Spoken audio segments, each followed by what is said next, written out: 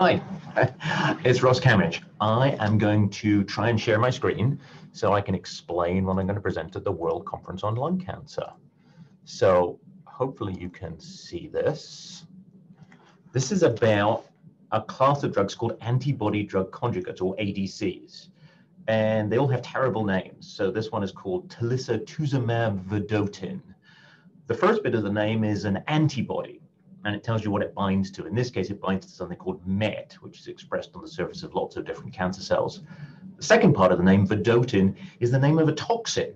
So this is a means of dragging a cytotoxic, a chemotherapy, and changing where it goes to in your body. So what you're trying to do is give a bigger dose to the cancer cells that express the marker that the antibody binds to, and a lower dose to the normal cells which don't express the marker or perhaps express it at a lower level.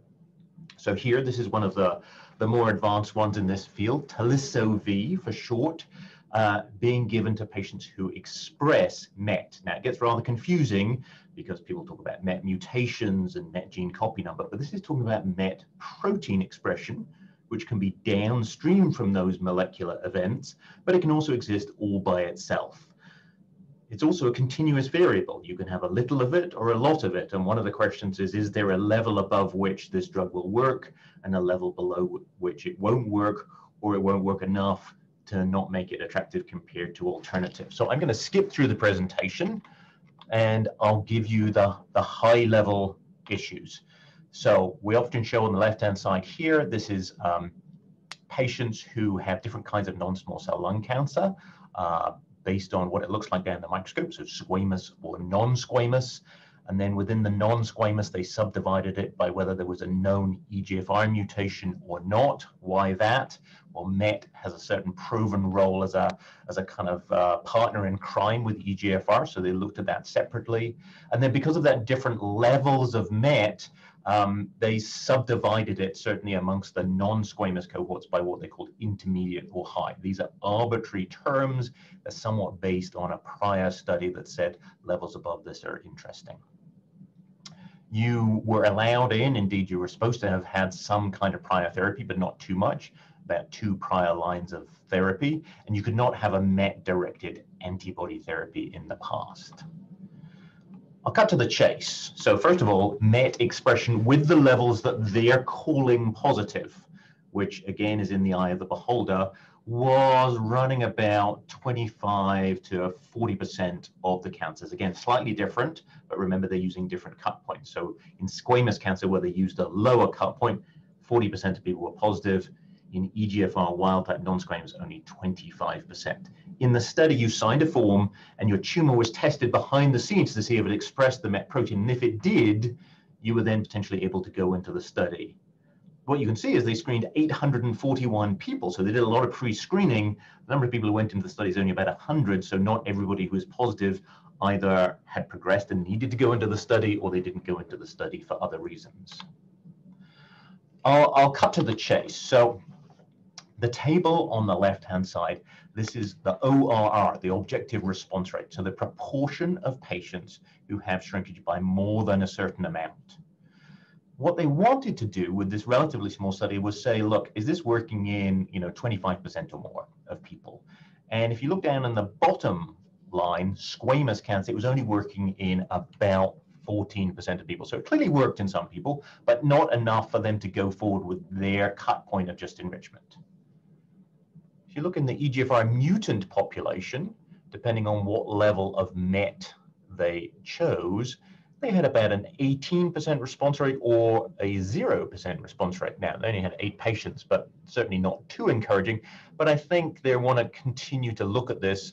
One of the things about the EGFR mutant population is you have to stop your tyrosine kinase inhibitor. So you have to stop your osimertinib or erlotinib or whatever, and there's a separate study keeping that going, is that going to increase the side effects? Is it going to change the efficacy? So that question is still being answered. But this was the interesting thing. In what they call EGFR wild type, and let's be clear, EGFR wild type is not a uniform population. That includes KRAS and ALK and people who don't have a mutation and all sorts of other things bundled in there. But if you look, it was a reasonable number of patients, 37 patients.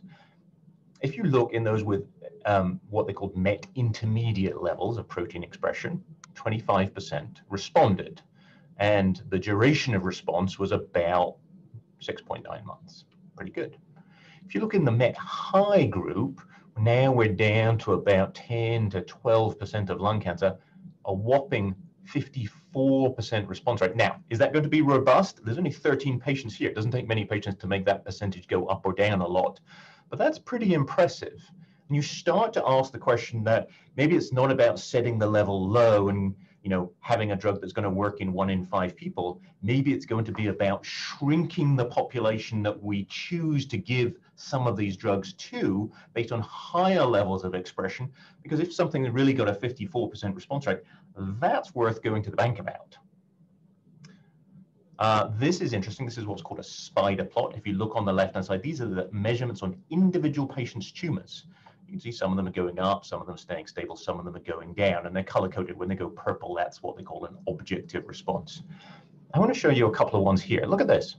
The reason it's important is when you give chemotherapy, shrinkage tends to occur relatively early and then plateau. But sometimes for some of these people, you get continued shrinkage over time. Look at this one. It's just got like we're down out nearly 200 days and it's still shrinking.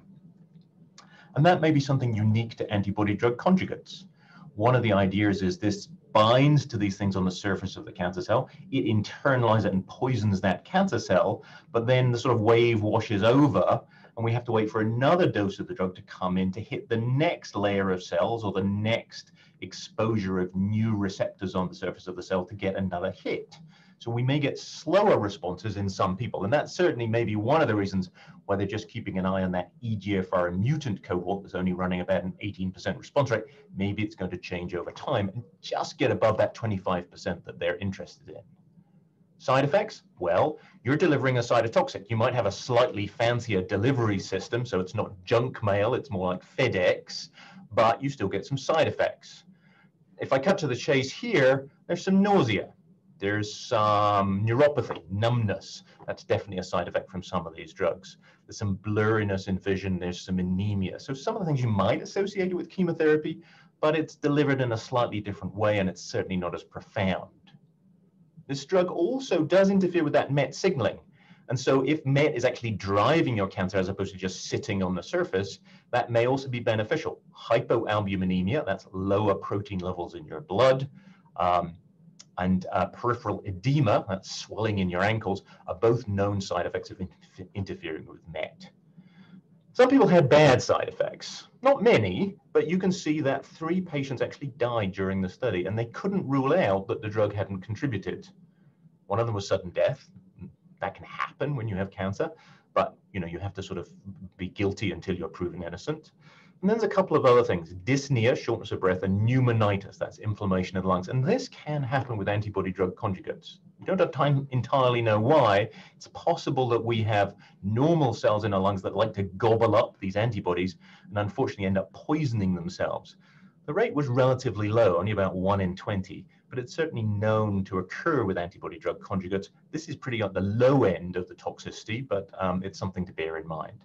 The peripheral neuropathy, at least in my experience, is a sign of you've been on the drug long enough, which means you are probably benefiting from it. So it's a cumulative side effect. And sometimes you can stop the drug and the cancer will stay shrunk and the neuropathy can slowly recover. So this was the take home message. The dose, which is intravenous, given once every two weeks, was pretty well tolerated.